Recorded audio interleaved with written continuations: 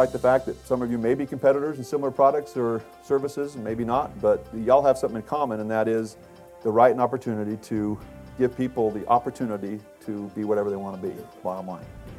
And, and when it really comes down to this business, I mean, I, what I like about it is that you do provide, I mean, it goes back to the very beginning of, of that free market system I talked about, where it didn't matter here in America what your education was.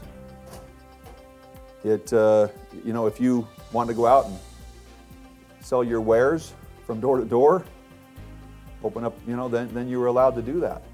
Direct sales to people has been around forever.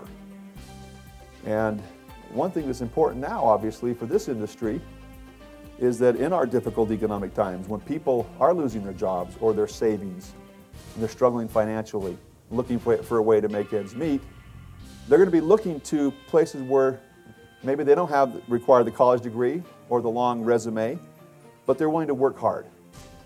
What other industry business model out there offers that to anybody, regardless of who you are, color of your skin, socioeconomic status, educational status, work history. If you come in with a desire to work hard and you follow our program, then you can succeed. You can succeed extraordinarily well. All right? I mean, that, that's, that's something. So, because people are desperate right now, they're more susceptible, frankly, to the scammers.